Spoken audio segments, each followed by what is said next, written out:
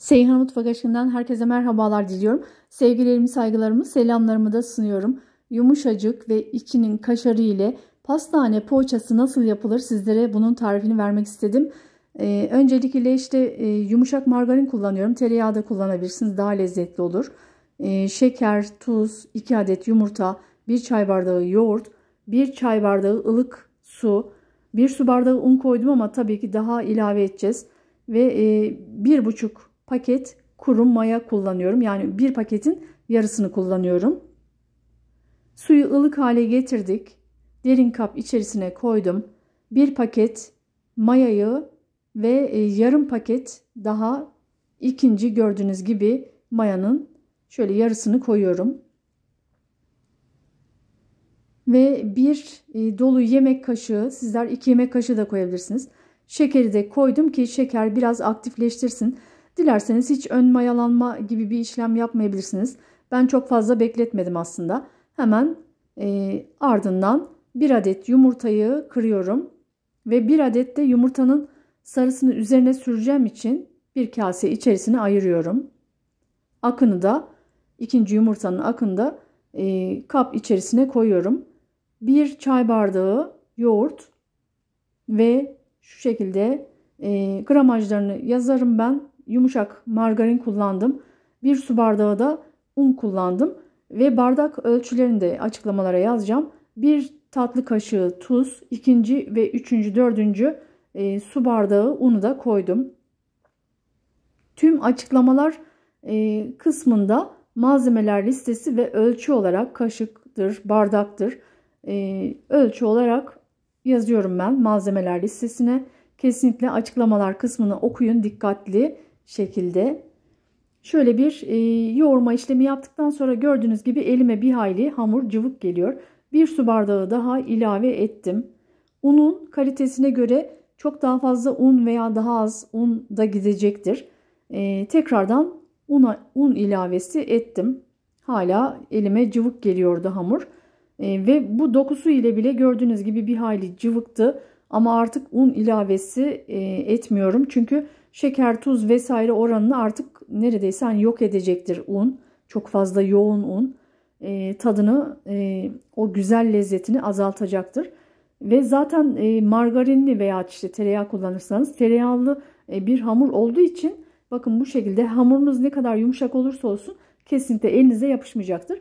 Şöyle yarım saat bir saat kadar oda sıcaklığında mayalandıktan sonra gördüğünüz gibi şöyle e, altına üstüne un serpiştirdiğim e, tahtanın üzer, üzerine hamurumu koyuyorum.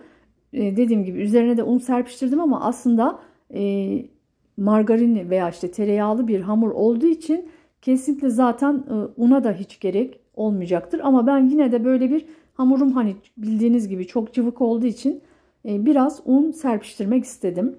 Yapıştığından değil bir tık daha böyle katılaşması açısından. E, ve bu şekilde Şöyle mandalina, küçük mandalina büyüklüğünde diyebilirim. E, bezeleme işlemi yapıyorum. Hamurlarımı 16 adet e, eşit, mümkün olduğunca eşit parçaya kesmeye çalıştım. Ve gördüğünüz gibi bezelemeye başlıyorum. Tüm hamurlarımı bezeledikten sonra e, açmaya şöyle tahmini elimle açıyorum. Oklava, merdane vesaire kullanmanıza gerek yok. Zaten dediğim gibi e, margarinli bir hamur olduğu için kesinlikle yapışmayacaktır. Ve rendelemiş olduğum e, kaşarı da içerisine koyuyorum. Tüm hamurlarımı bitirdim. Ve en son olarak artık sonuncuyu ve 225 gram da kaşar peyniri kullandım. E, tamı tamına hepsine gördüğünüz gibi tabak artık bitti. Tüm hamurlarıma eşit olacak şekilde de e, paylaştırdım. Bir adet yumurta sarısına böyle çeyrek çay kaşığı ucu ile e, kakao koydum ki rengi böyle daha hoş piştikten sonra daha böyle koyu görünsün. Bir yemek kaşığı dolusu da ayçiçek yağı koydum ve e, tabii ki yumurta sarısı hem yetmeyecektir hem de daha böyle e, poğaçalarımız daha yumuşak olsun dokusu parlak ve yumuşak olsun diyerekten o şekilde ayçiçek yağı da sizler de koyabilirsiniz. E, karıştırdıktan sonra da böyle e, top top olan poğaçalarımı biraz elimle bastırdıktan sonra düzleştirdikten sonra e, gördüğünüz gibi kakaolu yumurta sarısını sürüyorum. Ve e, po, pastane poğaçasına benzesin diyerekten de çatal ile şöyle artı şeklinde şekil veriyorum. Bu şekli verdikten sonra da hazırından kesinlikle görüntü olarak hiç farkı olmuyor. Tat olarak ise inanın çok daha hazırlarından çok çok daha lezzetli oluyor.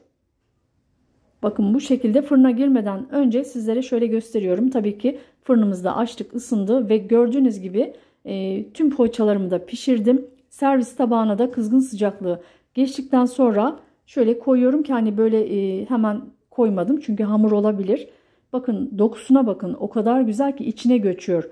Yumuşacık içi puf puf e, ve kaşarlı da çok daha lezzetli oluyor. Kaşar koymak zorunda değilsiniz. Pastane poğaçaları biliyorsunuz hani kaşarlı ve kaşarsız da olabiliyor. Sade olabiliyor. İçi zeytinli olabiliyor. Zeytinli de yapmıştım ben. E, o tarifimi de inşallah link olarak sizlere videonun altına atarım. Şöyle bakın hala e, sıcaklığı geçmemişti. İçi hala sıcak olduğu için kaşarlar erimiş vaziyette. Mükemmel lezzetli e, bir poğaça, pastane poğaçası yaptım. Umarım e, beğenmişsinizdir ve de sizler de yapar özellikle beğenirsiniz. Videomun da sonuna geldim. Bana destek için sosyal medya hesaplarınızda paylaşabilirsiniz.